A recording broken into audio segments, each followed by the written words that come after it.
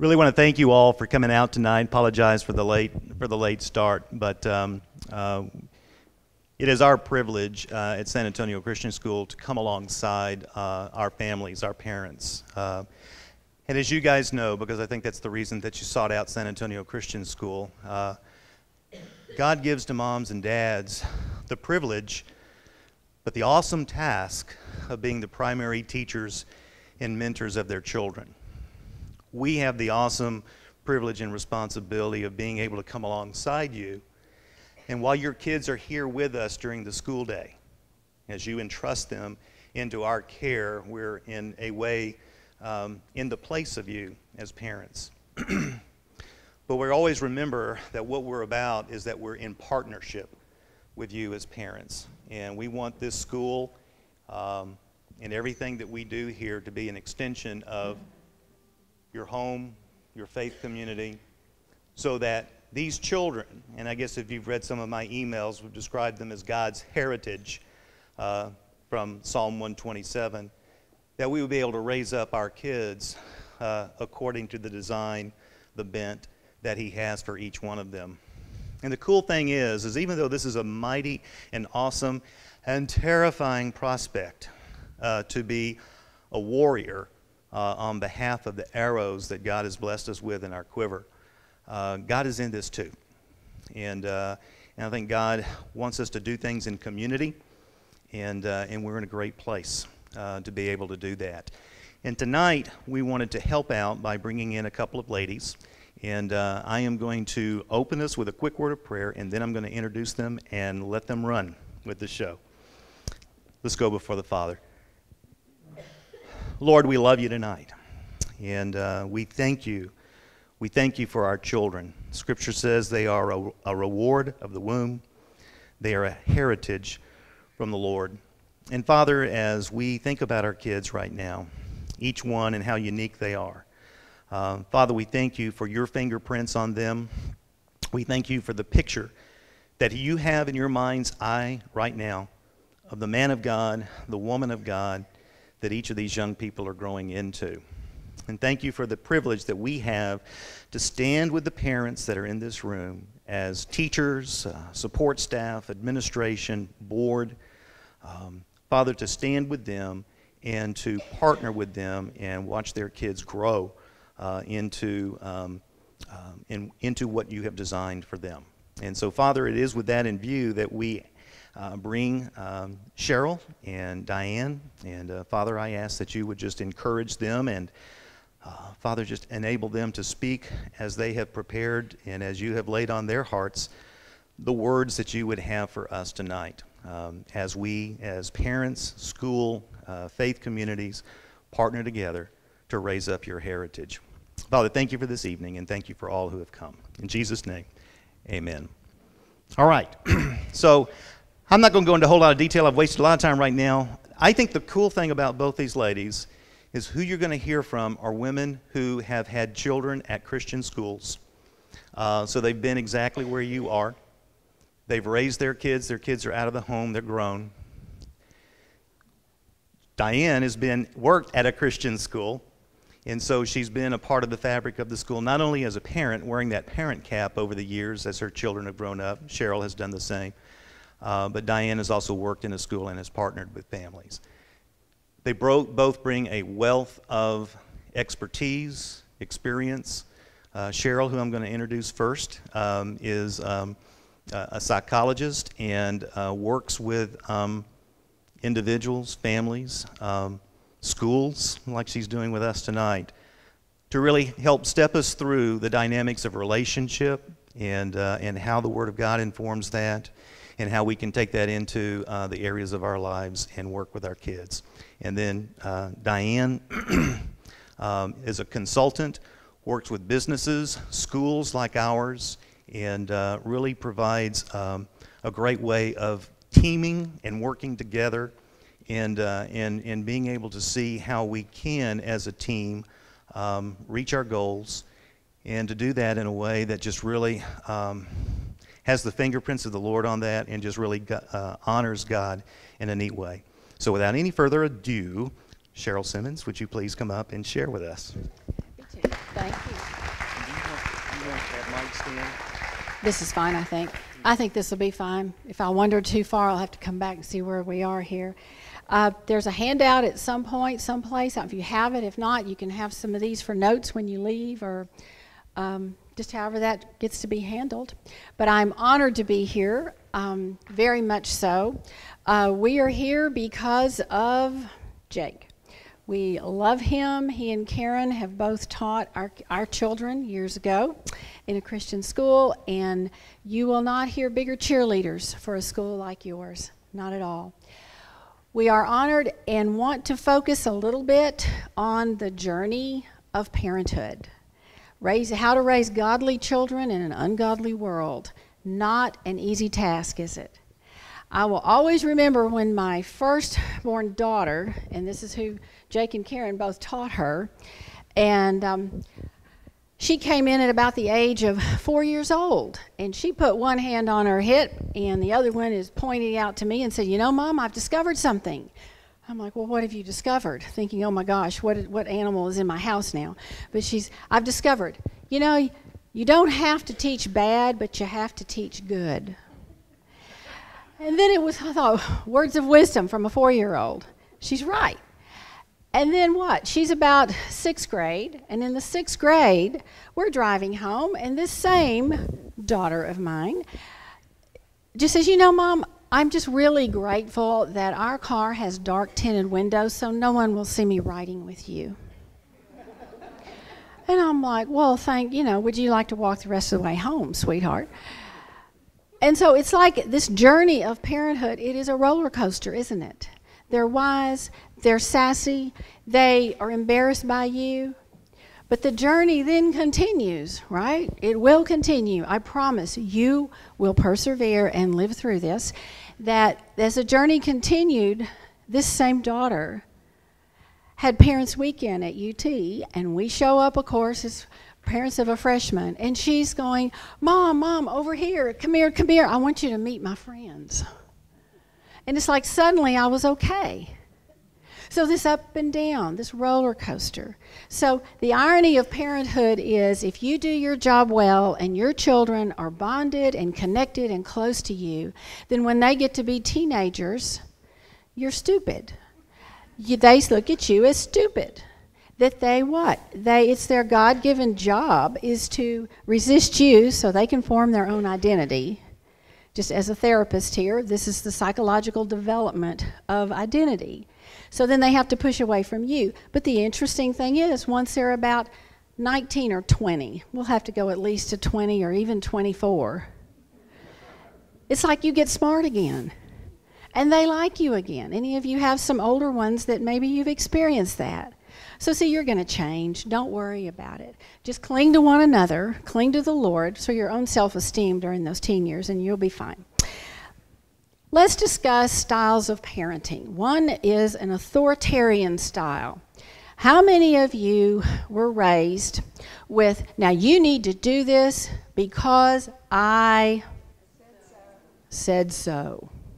How many of you were raised that way? That's authoritarian right there.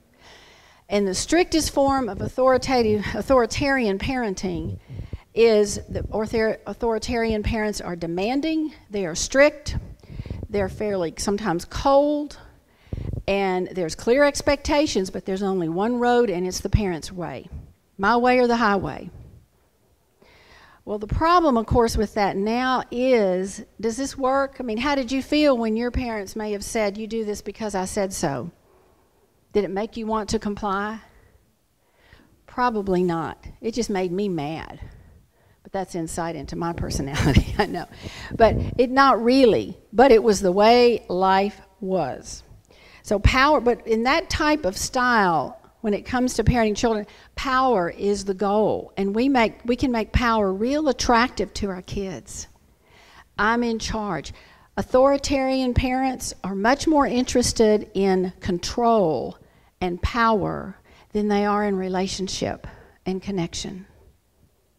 So God doesn't really talk about it that way, does He? He doesn't. It's a mutual relationship. Love your children. Do not provoke them to anger. Children, obey your parents. It's a mutuality there.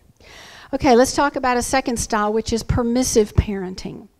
Permissive parents, it's sort of like watching um, the TV show Downton Abbey. Anybody into Downton Abbey? Oh gosh, don't get me started. It's so fun. It's so wonderful. Hang in there, guys.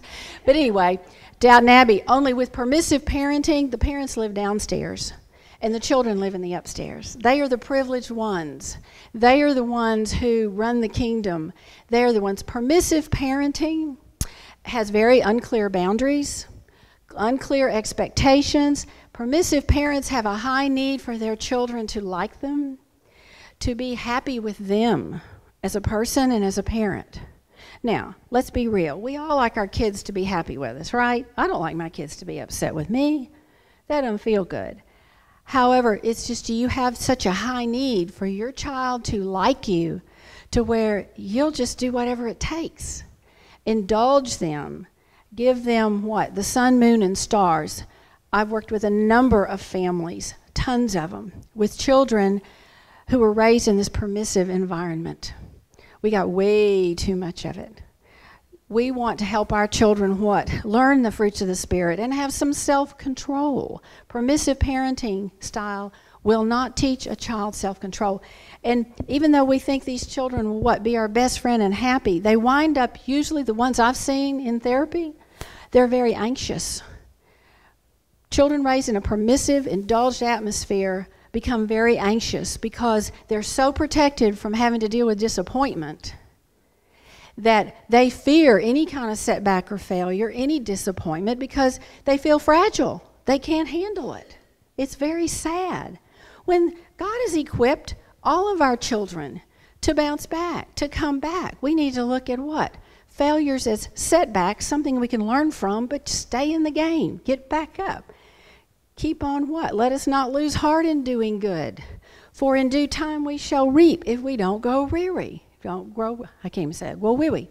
So if we can just hang in there, and I think so. The third style of parenting that I'd like to throw out to you is this authoritative parenting. That's the new term now, the 21st term, authoritative. It, what it is is balance. I mean, this to me, if you really think about it, is God's word says. It's about balance of love and connection where your kids know they are loved no matter what my daddy used to tell me that over and over again, and I'm thinking, when is he going to be quiet about that? But now I know why he did. I love you no matter what. There's nothing you'll ever do that'll make me stop loving you. And yet, also claiming the God given authority that you have to set boundaries, to say no, and go, honey, I'm sure you'll learn. I know you're disappointed, but you will feel better soon. And hopefully, someday you'll see the benefit in the fact that if you don't come in on time with your curfew, then you're, you need to come in 30 minutes earlier the next night and earn your privilege back, or whatever the consequence is, and they're not protecting them. So that's your authoritative parents. That style of parenting where you indulge your kids less and enjoy them more.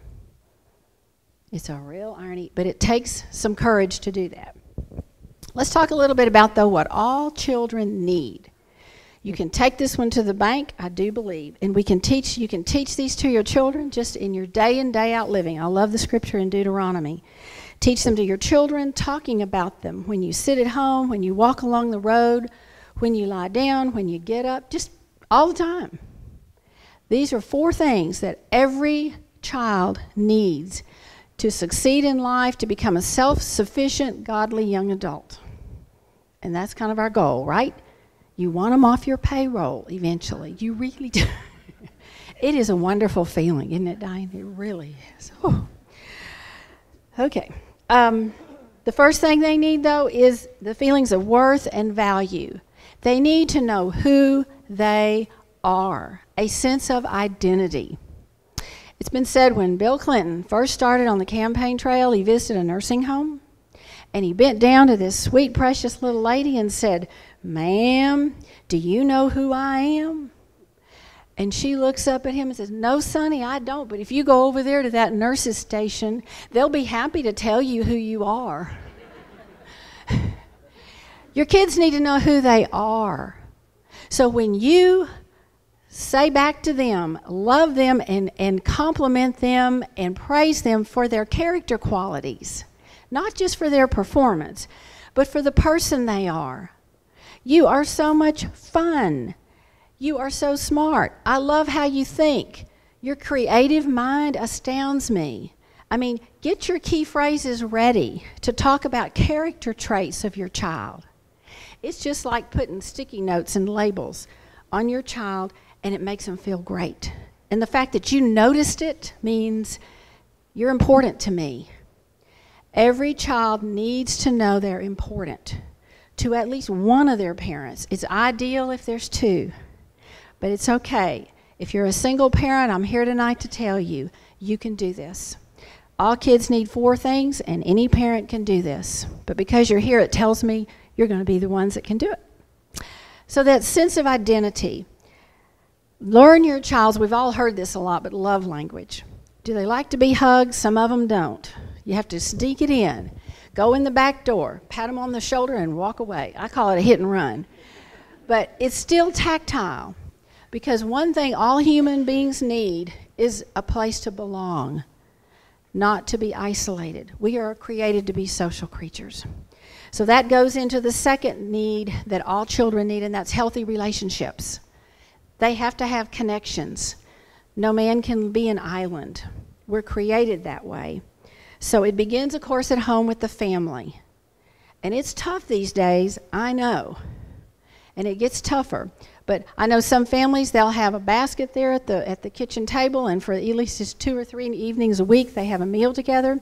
You put all the technology and all the I this and I that in the basket and sit down and focus on each other and, and even talk about what was the craziest thing that happened to you today? What was the best thing that happened? Not ask yes and no questions. Learn to have game night. It sounds hokey. My kids are still what? They're into bananagrams. And, and, and whatever game you can, you know, have your kids play. Here's three, pick one. Some families have a jar. Everybody puts pieces of paper with names of games or activities in. And maybe it's just, if it's once a month, it's hard, but it's just your nuclear family to build that special connections. All children need it. Within the family, you teach conflict resolution. How to sit down and say clearly, unemotionally, that's the ticket, right? That's the key. This is what I would really help. This is what I would like from you. It really bothers the whole family when you leave your stuff everywhere all over the den or they act like a monkey in front of the TV screen, whatever. I mean, this goes with any age child, too. That you know, what? So would you please not do that? Maybe they need a timeout, a logical consequence or something. I remember the day I set my youngest son free from one of my daughters who was determined to have the last word. Yeah, Ocean knows exactly who I'm talking about. That third child of mine, she she just thought having the last word. Whoever said, I don't understand. What is the big deal about the last word? If somebody knows, let me know. Because, anyway, but a lot of people feel like they have to have that last word. I taught my youngest, I keep trying to tell them, you know, to have a therapist for a mother, how lucky can you get? No. they don't see it that way. Mom, you don't know what you're talking about. But anyway, whatever. You just can't have that high need for all the appreciation to come from your children, right? Yeah. Anywho, um, I taught our youngest, though, to simply agree to disagree. And he just looked at her, and he's he's done it ever since because she's still a good girl, still likes the last word, but now nobody cares. And so, yeah. Um, so he would look at her and go, I disagree, and walk off. It would frustrate the fire out of her. You know, I disagree. And when you learn that skill yourself, you know, I can tell. We just see it different. That's okay. And have, like, you just don't give a rip and you walk off. It's okay. It is very empowering. It will empower you. I know you're not happy with the decision you made and the fact that you're grounded for a month. However, I'm sure you will adjust and be fine. Take care, bye bye, and walk off. I mean, just learn it like you're an actor or an actress. Just do it. And your children, you will indulge them less and enjoy them more. The one thing, another thing that, of course, all children need is a sense of responsibility. Accountability. It's the real world, right? Our job is to teach them how to function out in the real world. So it's accountability. We love them no matter what, and yet some just let those natural and logical consequences roar. Sometime, what? If they're late at school, let the school deal with them. Maybe you don't even have to fool with that. Um, letting the fact that what? If they don't study, you can try. You can lead the horse to the trough, but you can't make them drink sometimes. And yet, the natural consequences, the grades will take over. Um, but being able to allow them to experience some of those things.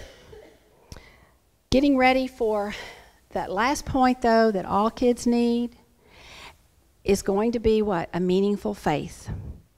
A faith that what can carry them just in their daily walk. Probably if there was the one, if I had to pick one of these needs, that'd be the one I'd really want to focus on. That they feel, they know that God loves them no matter what. It's interesting. It almost is incentive for them to follow God's word, even more so. But to establish a meaningful faith, be able to share, though, some of how God has revealed himself to you. When I was 16, my real, a real close, close friend of mine that I grew up with was instantly killed in a car crash. I thought my life would end. And I was able to share with my children that, you know what, if you have a big loss in your life, God created your heart to heal. And you will feel better, even though you think you're just shattered in a million pieces. But you'll feel better because God did that for me. And I can talk to you now about Jenny, and I know she's in heaven, and I'll see her again. And your heart heals while you now you have the hope of seeing her again. And you know, my kids at the time, they're not like, "Oh wow, mom, thanks for telling me." No, no, no.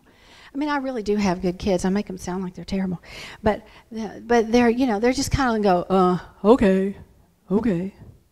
Well, now that they're older, that's going to come back. Those are seeds you plant. So share what God has done, how God brought you together with their with their mother or their dad. This is God has a plan, and I know He has a plan for you.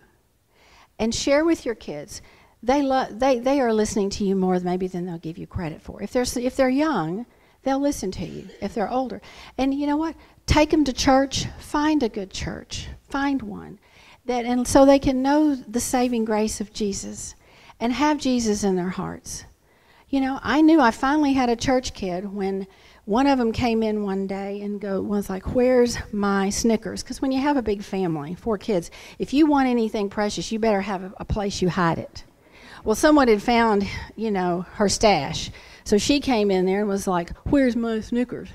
And the guilty party always speaks up first. That's why you have to find out who did it. So my youngest, my John, is like, Jesus ate it. and I thought, well, now we know who the guilty party is. But I thought, that in a Christian cop out, I don't know what it is. Jesus ate it. And I thought, take your kids to church, and if I had one thing to say, keep them in this school till they graduate. My children now, as adults, every one of them have thanked me and my husband for sending them to a private Christian school. They say, We know the value of long term Christian friends, and their closest friends are from their Christian school that they went to. And they still remain close today, even if they live across the country. And as life gets hard, who do they turn to? Their strong Christian friends from their Christian private school they grew up in.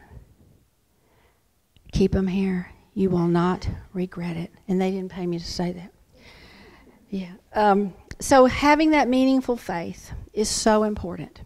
So give your kids that love, self esteem, give them healthy relationships, connect with them like crazy Show them right from wrong, hold them accountable. Don't be afraid to give them consequences. It will come back to help them and you later on, save you a boatload of heartache, and them too. And then talk about that meaningful faith. My oldest got his driver's license, of course, at 16, the big deal, right? And he earned the privilege of taking the car to a football game. And he earned it by having to take his sister with him. So, yeah, it's great. You, you'll drive even less when you get the oldest one to take the younger one's driving. And they'll do anything for a while to drive that car. So he took the phone. They're leaving the football game about 10:30, and we live what, maybe 20, 30 minutes from the school. So they we said we'll meet you at home. It was 30 minutes, 40 minutes, almost an hour later, and he had accidentally turned right instead of left on the freeway and wound up way north Houston past Intercontinental Airport, crazy, where we live near the Galleria.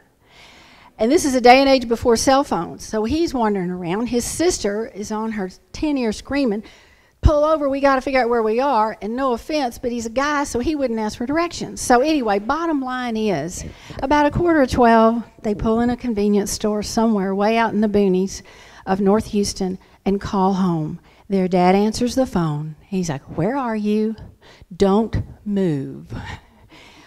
Warren gets in his truck, he drives all the way out, and they were scared, they were hungry, they were out of gas. It was a bad scene. I'm so sorry I wasn't able to be there. But he put gas in their car, he fed them, he reassured them, he comforted them, and he looked at them and he just said, Follow me. Follow me home. My prayer is that your children will feel loved by you to the point that they will call upon their heavenly Father. And when they call unto him, they will know he will answer them and show them great and mighty things they have never known. And they will follow him home. To inter- we're going to keep this night moving. To introduce this, my our your next speaker tonight, I first have to share with you. I have learned a lot about cows lately. Cows. I moved to the country from Houston. It's quite a change. But anyway, we'll talk about that another time. Cows, though, are like kids. Cows are like kids. They're curious. They have no boundaries unless you put up a fence. And each one of them have different personalities. I didn't know any of that about cows different personalities. There is no one finer or more skilled at helping you understand your child's personality than my good friend Diane Van Zant. I give you, she is my encourager. She's my partner in crime and my soulmate for over 50 years. Diane Van Zant. Thank you. It's such a privilege to be with you. I had the privilege of working with Jake. And when you work with Jake, you laugh a lot. A lot. And he, you, I just, I just want to tell you, uh, probably already, you already know, you are so fortunate to have him. And he is a gift to whomever he's working with. Um, you know, if there's anything harder than parenting, I just haven't met it yet. And I remember my late husband was trying to explain something to our junior high daughter, and he really thought he was getting through. And, and she was looking at him in the eyes, and he was looking at her. And he just thought, I am nailing this sucker. This is good. I am, she will remember this. And all at once, she just kind of leaned over the table and she looked at him and said, Dad, he went, uh huh. Do you always put pepper on your macaroni? and he just looked at me and went, oh, gosh. You know, sometimes you look around the breakfast table and you go, who are these people? And where did they come from? And it's your family. And you just think, I don't know how to relate to this person. They're so different than I am. And you know, I ran across something about 20 years ago. And my late husband used to write software, and he was writing some software for this company. And he came home and he said, Diane, you would really like this. And I said, Oh, well, good. He said, No, Diane, you'd really like this. And um, he brought some of these, back then the questionnaires were on paper, and he said, You know, they gave us these questionnaires. I said, Bill, we've been married over 30 years. We know each other. I don't want to fill anything out. He said, No, it's free. And I went, Okay, let's do it. And so we filled it out real quick, and I, I thought, These are the dumbest questions I have ever been asked in my life. Finished it like in 25 minutes. Well, I got it back, and it was like somebody sat in my living room and just just observed. And I got it back. That report was called the Birkman. I've been using that as my tool for about 20 years now. Dr. Birkman was a tremendous man. He was a strong, strong Christian. He wanted Birkman to be used for mission work, for schools, for churches, but he couldn't make a living out of it. And so finally it went worldwide. Dr. Birkman was about this tall. And he was a World War II fighter pilot. And he said, you know, would fly out and would all see, see the same target but would come back and tell a different story. He said, How can we all be looking at the same thing and tell a different story? And that's how this personality assessment was born. And Dr. Birkman says basically that we have a certain DNA in us. He said, God just put it in us. And it's how we see the world. And he said, We're either going to have a blue, green, yellow, or red lens in our eye. And the best way I can explain it, let's say you and your family are going to go on a car trip. You go to the garage and there's a flat tire. The green lens person comes in and says, Oh my, flat tire. Mm, well, I need to talk to everybody. Tell me what's on your agenda. Talk to me. I want to see you. I want to see your eyes. That's green. Yellow comes in and says, Oh, flat tire. Mm, well, I have a plan. Number one. Number two. Number three, follow my plan. One, two, three. Y'all are going to be okay. It's going to be all right. Red says, I have the trunk open, I have the jack out. Y'all can talk and plan all you want, but in, you know, 15 minutes, we're out of here. Blue comes down, last one. I was in my room, kind of felt it in my heart, like it's going to be a bad day. Mm-hmm. Sure enough, bad day right here in the garage. I felt it in my room upstairs. Do y'all feel it? Y'all feel it? Okay. Same event but a really different outlook on it. So let's put the family together. Mm. And so, blue, let's talk about blues. I love blues. Blues, feel it first. Feel it first. If you want to make a blue happy, you say, What are you thinking? What you thinking? What do you think about that? That's a blue. Blue has six ideas before lunch. No big deal. They can decide. And they love to tell you about them. They can tell you and tell you and tell you about them. Green. What about green? Green is the people person. Green is the person that says, you know, I had somebody over for the weekend and that was so much fun. Who's next? And somebody says, well, we just had somebody over. And they say, I know, but who's next? And they want somebody else. That's green. Green. Green can sell. Green can talk you into stuff that you never thought you'd be talked into. And then we have red. Red is the personality that asks questions similar to this How could you do something so stupid? Now, how do you answer that one? Well, I don't know. I worked real hard at it. I mean, how do you do that? That's red. Red is the get it done. Red is the get it done. I did not come here to play, I came here to get it done. So let's do it.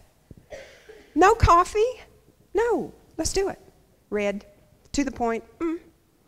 That's the one in the trunk, remember? All right, and then we have yellow. Yellow says there needs to be a system. There must be a system. Uh, and really, my system is really good. And if we just do one, two, three, we're all going to be fine. So yellow says I have a system, and I would really prefer if everybody follow my system because it's good. It's good. Now then, Put this together in a family. And let's say that we've got a really yellow little boy. And he is so happy because he has one friend. And his friend's name is John. And he loves John. Now, his mother, opposite quadrant, is green. She has 76 best friends. 76, yeah. She could name them in alphabetical order. And so she says, Who would you like to have over this weekend to her little yellow boy? And he says, John. And she says, You had him last weekend. And he said, I know. Isn't that good? And she said, But wouldn't you like to branch out? Wouldn't you like to branch? And she's a brancher. And all at once, little Yella thinks, What's wrong with me that I'm not branching? my mama branches, and I just like John. And so she asks again, Now, after I've told you about branching, wouldn't you really prefer to have somebody other than John? And little Yellow sits there and goes, Not really, I really like John. And so, Green Mom can make little Yellow Boy feel like a weirdo because he has one good friend.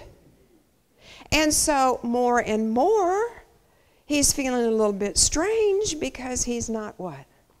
Like mom. Like mom. And so, as we look at our personality types and we look at this, do you know God did not make a mistake putting who He put in your family? He knew you as parents. You know, Cheryl nailed it right here. She said, Keep your kids in a Christian. I didn't even mean to do that, but that was kind of good because I really mean this point. Keep your kids in Christian school. I was director of admissions at Second about 20 years. And nothing would drive me any crazier than somebody coming in saying, My 12 year old is going to make the choice of where she goes to school. I remember when, when I was testing and had a first grader that said, Well, I'm deciding whether to come here or another school. And I said, You'll love that other school. We're not going there. Mm-mm, mm-mm, mm-mm. Honey, you will love that school. I've been there. You'll enjoy it. So, no one, no one who is 14 years old needs to decide where they're going to school. Are you kidding me? They make decisions like this. How many water fountains do they have? Stuff like that. And you just go, and when parents would come in and say, Well, my child is making this decision, I just go, Really? Really? How many years have they been on this earth? Well, I don't think that's enough. Let's rethink that. Now then, so as you are, between Cheryl and I, we have 17 grandchildren. We have a tribe between us. And each one of our grandchildren has a different personality, a different personality. And so as our children get older, and now they are parents, they are appreciating that Christian school more than they ever have. You know, I have a daughter who's my oldest, and she has a lot of blue in her. She has a lot of green in her.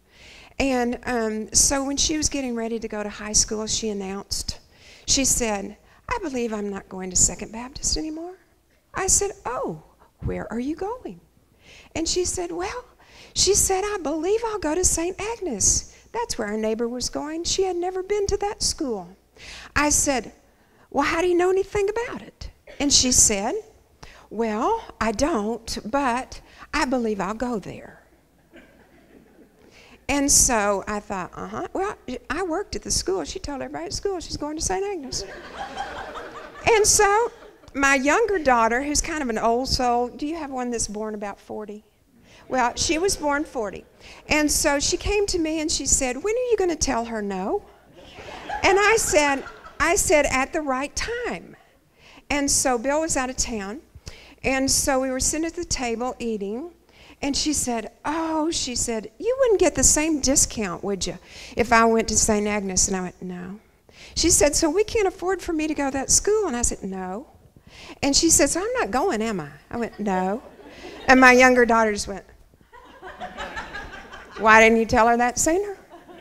And I said, I was waiting for the right time. And I said, honey, this is where you need to be, and you're going to be here. It is imperative, no matter what personality our children have, to have those boundaries like Cheryl was talking about. There's nothing that could drive a 14 year old any crazier than to think that she's in charge of her home. Are you kidding me? That makes for major insecurity. Major insecurity. Now then, on the Birkman, and I have a handout for you. On the Birkman, we talked about the four quadrants the blue, the green, the red, the yellow. So the different personalities, and you can think of your children. You know, when God made our children, He did not make a, a cookie cutter child. There's not going to be another one like them. They have their own personality, their own way of doing things, their own way of thinking, and they're opposite many times of their siblings, which they should be. Which they should be. How do we celebrate those differences? How do we celebrate those differences? Now, then, on Birkman, it talks about an asterisk, and they have John Q. Public on your handout. And on the asterisk, it's just what we love to do. We do it for free. And it may be in the in the blue, which says I love creating things. It may be in the in did I say blue? Yeah, blue. And it may be in the green, which says I love being with people. Maybe in the red, which says I love getting that task done. Just give me a job, give me a list, let me check it off. Ah, got it. It may be yellow that says, I'm going to organize this. I love yellows. I don't have a speck of yellow in me. And so I love yellows. I hire yellows. This is good. Now then, and that's just what we love to do. And we all have something. I had a client that came and threw his report on my desk, and he said, Diane, I've got a good business. He said, I've been doing it 25 years. I just happen to hate it. He said, Show me anything else I can do. I said, Sit down. We'll do it. We'll do it. We were made in a certain way to accomplish certain things for the kingdom of God. And so if we look at our children that way, and we see maybe a real strong will, maybe just one that is almost unbending. God did that. God did that. Put that person in the kingdom work, maybe a businessman, maybe a teacher, whatever. That strong will, standing for the will of God, that's going to make a difference in this world. So be very careful as you pray for your children. Don't take away the gifts that God has given them for purpose. But man, is it hard to parent at times. Whoa! Now then, look at the diamond on there. The diamond is John Public on a good day. And it's what we look like on a good day, and it's observable behavior. If that diamond's in the blue, the diamond says, you're insightful, and you're thoughtful, and you're optimistic, and you're socially selective. Don't you like that? Socially selective. That's so if you have one or two friends, you'll have them real close in your heart. And in the green, if that diamond's in the green, that says that people see you as friendly. They see you as having a competitive edge. They see you as drawing other people in. If you have a diamond in the red, you're friendly. You get the job done. You're energetic. The diamond in the yellow says that if you have the diamond there, people see you as faithful, loyal, on the spot. Okay? Most personality assessments stop right here. This is why I love Birkman, this one symbol. It's a circle with a square around it. And this is what Dr. Birkman was a wonderful believer. He got shot down over enemy lines in World War II. And a family hid him. He said literally he could see the Nazis' boots in the grass. And a family hid him for several months. And he made it out of there. Dr. Birkman says he feels like this part, literally, God just whispered in his ear. The circle says, What do you need from other people? In other words, how do you need to be treated? There's a certain way, if we treat one of our children one way, it's perfect. If we treat another child that exact same way, it doesn't work. It doesn't work. And so, needs are not needy, but it's how we need to be treated, how we like to be treated. And boy, is that the gift that you want to know. That's the secret. That's getting into that child's soul. And as Christian parents, we want in our child's soul. We want them to know Jesus. We want them to be influenced by that. And the world right now is insane. It's insane. And if we do not teach this and we can't get into the souls of our children, they're lost. They're lost. And that's the last thing we want. You wouldn't be sitting here on a Thursday night if you didn't care. We want into the souls of our children.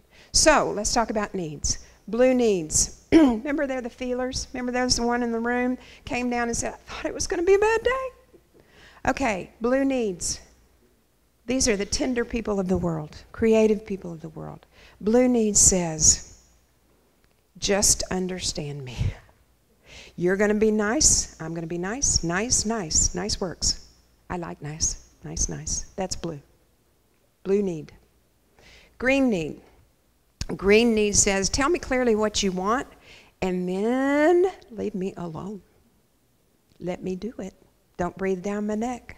I can't tell you the numbers of my young clients that look at their mothers after I say this and go, Uh huh. Did you hear that? Yeah. That's green need. Red need says, Please don't tell me a story. Just email me. I, will do it, but, but if you won't tell me a story, I'll do it sooner. Please. My late husband used to go like this. He used to go. And it used to hurt my feelings until we'd been married about 30 years. And he, he, he'd go like this, and that meant wrap it up. Wrap it up. Get to the bottom, right there. And so, red need, yellow need. Yellow need says, Tell it to me straight, what you want, and then don't change your mind. Don't move the target 10 feet. Don't think it's funny. Don't like it. Uh-uh. Uh-uh. Yellow. That's yellow. Now, see there's a square around that circle? It's always around the circle. The square is our stress behavior. It happens when our needs aren't met. Next time your family's falling apart, and all families do. Next time your family's just falling apart, somebody's just having a jackrabbit fit, think this question What need's not getting met here? What need is not getting met? When they're little, it could be a nap. Sometimes when they're big, it could be. Sometimes we need a nap. So it can be something like that. But blue stress looks like this. Blue stress, and, and think of a terrible day. Blue stress is like a spiral. It's like it is nine in the morning and it is like a bad day. By noon, it will be worse. And by three o'clock, just zip up the body bag because it is over. That's blue. Blue stress is quiet. People have to know you intimately, probably to know you're in stress. Green stress. Green stress is argumentative, sounds kind of like this. Excuse me, I have tried it that way. I am not doing it that way again. Read my lips. Nope. Nope. Red stress is, I'm just going to bawl you out, and then, whoa, don't we feel better? You want to go to lunch? That's red stress. When red stress rains on blue stress, ooh, blue says, I wouldn't go to lunch with you if you're the last person on the face of the earth. Red stress, blue stress. Yellow stress. Yellow stress says you can say what you want, do what you want, but when you shut the door, I'm going to do what I want. So just keep on talking. As soon as you're gone, it's over. Now, any of that ring a bell in your family? Mm, yeah. Tough parenting. So, what I want you to do is, I want you to ask the question when things are falling apart what need is not being met here? Not being met. Um, my husband, five years ago, went outside to jog and he died in one hour. Just died. And I'd been married 40 years. My whole life just did a 180. 180. But something really good. Before he died, at second, uh, in the senior year, the parents write their seniors a letter. And this was written by my husband to my oldest daughter. And I just want to share a few sentences. This was written on September 7th, 1993.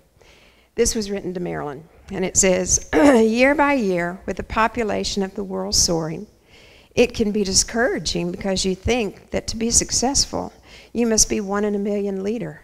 You must be famous. The result, of course, is give up before you even try anything. Don't fall for that. You're important. Remember, Christ died for you. Don't feel you are the only worthwhile if you if you win. Just walk humbly with your Lord. Don't equate your life with an achievement. Don't focus on the destination as much as the journey. There is nothing more significant in God's eyes than small acts of faithfulness. Now, if you were removed from this earth tonight, tonight, would your children know what's really important to you and important to them? Your children are the most precious assets you have. And you were given these as a gift as a loan. Make sure, make sure that your children know what's important to you. Thank you for coming.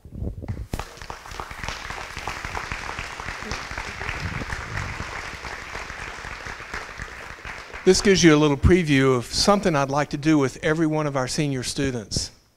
I would like to do the Birkman profile with them because it is so insightful and it gives parents a tool to counsel their children what college to go to, what occupation you might be interested in, because a lot more information than what Diane shared is incorporated into the Birkman.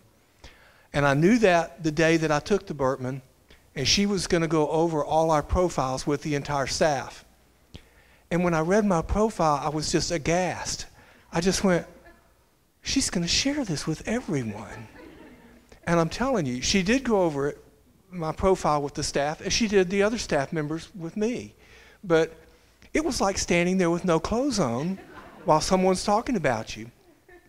And I remember one comment she said, she said, Jake really likes order. He's the kind of guy who will spit in the sink so he can clean it again.